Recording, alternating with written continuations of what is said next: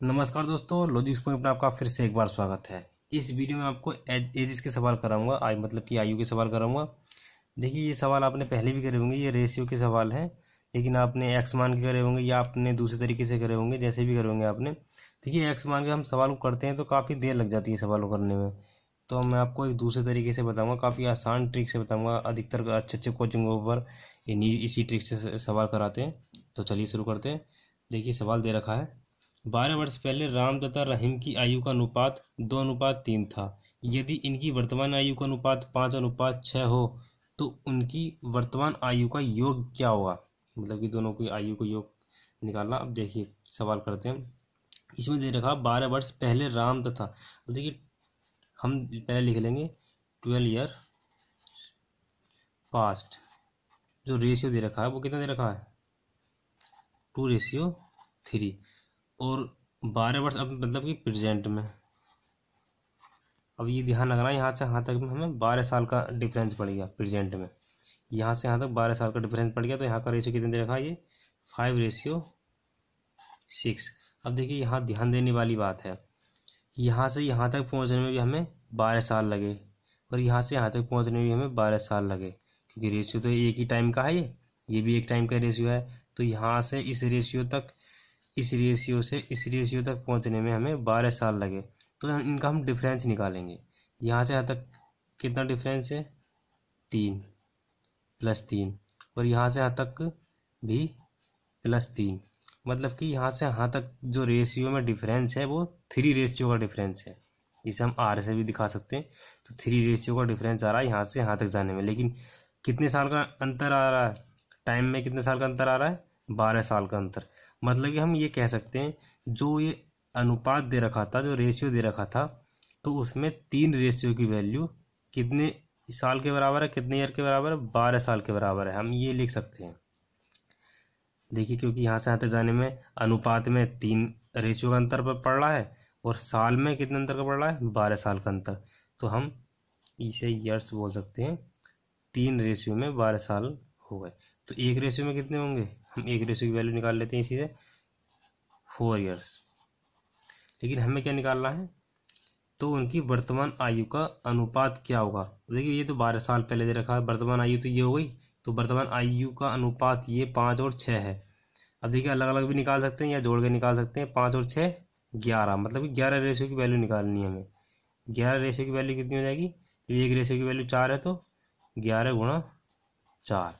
कितना आ गया इसका आंसर ग्यारह चौक, चौवालीस ईयर्स इसका योग आ गया मतलब कि जो वर्तमान आयु के दोनों को योग जोड़ने के बाद चौवालीस ईयर आ गया। या आप इसे अलग अलग भी निकाल सकते हैं, अगर ये निकालना होता कि राम की, ये राम की है और ये रहीम की है, ये राम की। अब इसमें ये निकालना होता केवल राम की वर्तमान आयु क्या होगी? तो राम की वर्तमान आयु क्या होगी? चार पंजे बीस। तो इसकी बीस आ जाती। और निकालना होता कि रहीम की वर्तमान आयु क्या है? तो चार चौक तो सॉरी हाँ छः चौक चौबीस। तो इसकी चौबीस हो जाती। क्योंकि एक रेशियो की वैल्यू चार है तो छः रेशियो की वैल्यू चौबीस, पाँच रेशियो की वैल्यू बीस। तो इस तरीके से दोनों को इनका योग निकालते तो कितना हो जाता? चौवालीस ईयर्स तो इस तरीके से आप इसमें से कोई सी वैल्यू निकाल सकते हैं, इसकी भी निकाल सकते हैं, बारह साल पहले की, इसकी भी निकाल सकते हैं, बारह साल पहले की राम की। तो इसमें चारों में से कोई सी भी वैल्यू निकाल सकते हैं हम तो उसमें चार से गुणा करने के बाद उसका आंसर आ जाएगा। तो इस तरीके से आप और भी सवाल काफ़ी आसानी से कर सकते हैं। चलिए मैं आपको कुछ और एग्ज़ाम्पल देता हूँ। अब अगला सवाल देखते हैं। देखिए, अगला सवाल है ये। ए बी से दो गुना बड़ा है। बारह वर्ष पहले ए बी से पाँच गुना बड़ा था। ए की वर्तमान आयु निकालनी है।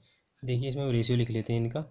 इनका रेशियो दूर दूर लिखेंगे। अभी बता देते हैं क्यों देखिए, पहले लिखते हैं हम पास्ट का। उसके बाद लिखते हैं हम प्रेजेंट का। पास्ट प्रेजेंट फ्यूचर चलता ही है। सबसे पहले, जो पहले घटना घटी है, पहले हम वो लिखेंगे। देखिए पास्ट में मतलब कि ए बी से दोगुना बड़ा है। इस समय बारह वर्ष मतलब इस समय की बात चल रही, बारह वर्ष पहले ए बी से पाँच गुना बड़ा था तो हम बारह वर्ष पहले की वैल्यू यहाँ लिखेंगे। पाँच गुना बड़ा है ए बी से। तो यानी इसका रेशियो क्या हो जाएगा? इससे पाँच गुना हो गए, इस तरीके से लिख सकते हैं। तो बारह वर्ष बाद कितना? है दो गुना बड़ा है मतलब कि इस समय प्रेजेंट में। दो गुना बड़ा है। तो देखिए, पहले हमने इनका डिफरेंस देखा था, पहले सवाल आपको दोबारा दिखा देता हूँ एक बार। ये देखिए, यहाँ से दो में दो से पाँच तक पहुँचने में तीन रेशियो का डिफरेंस आ गया था और यहाँ पर भी इतना ही आया था। तो ये रेशियो बराबर होने चाहिए, क्योंकि यहाँ से यहाँ तक पहुँचने में हम साल भी बराबर ही लगते हैं। यहाँ से यहाँ तक पहुँचने में बारह साल लगेंगे, यहाँ से यहाँ तक भी बारह साल लगेंगे। मतलब जितना भी टाइम हो, यहाँ से यहाँ तक पहुँचने में और यहाँ से यहाँ तक पहुँचने में बराबर ही टाइम लगेगा। तो इस तरीके से इसका डिफरेंस और इसका डिफरेंस बराबर कर लेते हैं। अगर नहीं है तो इसमें तो पहले से ही था, लेकिन इस सवाल में नहीं है। तो इसमें पहले हम इन, इसका डिफरेंस और इसका डिफरेंस बराबर करेंगे। अब देखिए, यहाँ से यहाँ तक पहुँचने में कितना डिफरेंस है? मतलब कि यहाँ से यहाँ तक का डिफरेंस है, वैसे तो माइनस की तीन है और यहाँ से यहाँ तक ज़ीरो है। तो हम पहले इसे बराबर करेंगे। बराबर करने के लिए पहले देखिए, इनका डिफरेंस देखेंगे हम। यहाँ से यहाँ तक का डिफरेंस कितना है? चार। और यहाँ से यहाँ तक का डिफरेंस कितना है?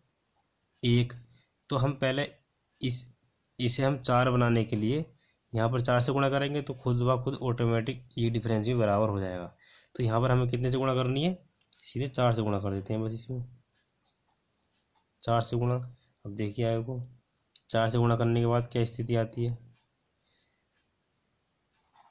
ए और बी का। देखिए चार से गुणा करने के बाद ए और बी का रेशियो आ जाता है। ऊपर वाला तो ऐसे ही रहेगा। पाँच, एक का नीचे वाला, चार दूनी, आठ।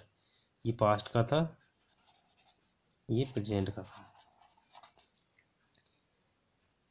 चार इकन चार।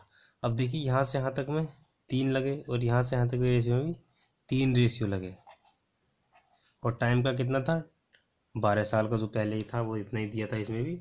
तो बारह साल का डिफरेंस आ गया था। तो ये थ्री रेशियो किसके बराबर हो गए? बारह ईयर्स के बराबर। तो एक रेशियो किसके बराबर होगा? तीन चौक बारह, चार साल के बराबर। तो हमें निकालना किसका है? निकालना है हमें एक ही वर्तमान आयु। तो एक ही प्रेजेंट आयु मतलब प्रेजेंट में क्या है? एक ही वर्तमान आयु आठ रेशियो तो एक रेशियो की वैल्यू चार है। तो आठ रेशियो की वैल्यू कितनी हो जाएगी? चार गुणा आठ, चार अट्ठे बत्तीस। यानी बत्तीस ईयर इसका आंसर आ गया। अब देखिए, निकालनी होती बी की वर्तमान आयु। तो बी की वर्तमान आयु निकालने के लिए चार चौक सोलह। तो सोलह हो जाती हो जाती इसकी तो इसकी बत्तीस हो गई। बारह साल पहले निकालनी होती तो इसमें चार से गुणा कर देते। चार पंजे बीस, इसकी हो जाती, चार इसकी हो जाती। तो इस तरीके से आप निकाल सकते हैं। अब देखिए, अगला सवाल देखते हैं। सब सेम ऐसे सवाल होंगे। इसमें बस दो तरीके सवाल होते हैं। एक तो देखिए, इनका रेशियो बराबर नहीं दिया होता और एक में रेशियो बराबर दिया होता। है अगर बराबर नहीं दिया तो हम बराबर बना लेते हैं। तो इस तरीके से आप सभी रेशियो के सवाल इस तरीके से कर सकते हैं। अब देखिए एग्ज़ाम्पल एक एग्ज़ाम्पल और बता देता हूँ आपको। देखिए, अगला सवाल ये है। ये एक बुक का सवाल है, अच्छी बुक का सवाल है और अच्छा सवाल है। देखिए, सवाल है, एक स्कूल में कुल छात्रों की संख्या 600 है। लड़कों की औसत उम्र 12 वर्ष है और लड़कियों की औसत उम्र 11 वर्ष है। जबकि सभी छात्रों की औसत उम्र 11 वर्ष नौ महीने है। स्कूल में लड़कियों की संख्या निकालनी है। अब देखिए, ऐसे सवालों को आप दिमाग लगाइए और देखिए, आप कैसे कर सकते हैं इस सवाल को। देखिए, मैंने आपको पहले भी एक इसकी वीडियो डाली थी, एलिगेशन की। देखिए, एलिगेशन में क्या होता है कि दो वैल्यू दे रखी होती हैं, दोनों को मिक्स करने के बाद फिर एक वैल्यू दे रखी होती है। तो जो भी ऐसे सवाल होते हैं, हम उसे एलिगेशन से बहुत आसानी से कर सकते हैं, क्योंकि एलिगेशन जो बहुत, हम एलिगेशन एकदम समझ में आ जाता है। अब देखिए बारह वर्ष यहाँ दे रखा है लड़कों की औसत उम्र और ये ग्यारह वर्ष लड़कियों की औसत उम्र। दोनों को मिला दिया जाता है फिर जो औसत उम्र आती है वो ग्यारह वर्ष नौ महीने आती है। तो इसे हम एलिगेशन से बहुत आसानी से कर सकते हैं।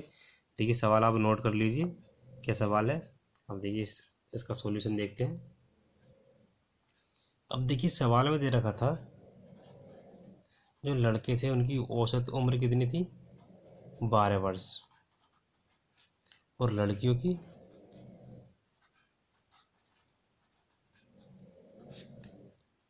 ग्यारह वर्ष। और दोनों को मिलाने के बाद, जो औसत उम्र थी वो कितनी थी? ग्यारह वर्ष। नौ महीने। ठीक है, अब देखिए, एलिगेशन में मैंने आपको बताया था कि यहाँ जो रेशियो इनका रेशियो निकलता है इन दोनों का डिफरेंस यहाँ लिख लेते हैं और इन दोनों का डिफरेंस यहाँ लिख लेते हैं। कुछ नहीं सोचना है, बस ज़्यादा सीधे इनका डिफरेंस यहाँ लिख लेंगे और इनका डिफरेंस यहाँ लिख लेंगे। अब देखिए इनका डिफरेंस कितना है? ग्यारह साल नौ महीने हैं तो कितना बचा? केवल नौ महीने। तो नौ मंथ आ गया है केवल। और यहाँ पर तीन मंथ क्योंकि तीन महीना और बचे एक साल में होने के लिए तो यहाँ पर थ्री मंथ्स तो इनका रेशियो कितना आ गया? तीन तिया नौ थ्री एक का रेशियो आ गया। अब देखिए गर्ल्स का रेशियो है, और ये बॉयज़ है। तो निकालने की इसकी संख्या थी गर्ल्स की। अब देखिए गर्ल्स अब देखिए टोटल कितना है ये? टोटल जो संख्या दे रखी है, सवाल में दे रखी है, वो छः सौ हैं। टोटल स्टूडेंट छः सौ हैं। छः सौ हमें हमें गर्ल्स की निकालनी है। तो गर्ल्स कितनी? एक। कितने में से? चार में से। सॉरी वीडियो में दिख नहीं रहा था। अब देखिए, हमें एक की वैल्यू निकालनी है गर्ल्स की वैल्यू निकालनी है, कितने में से? चार में से। टोटल कितने हैं? छः सौ। एक सौ पचास।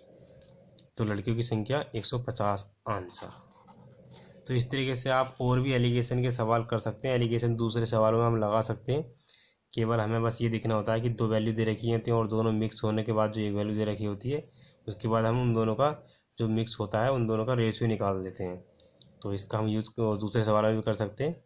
अगर आपसे एलिगेशन अभी नहीं आता है तो पहले मैंने एलिगेशन एलिगेशन की वीडियो डाल रखी है।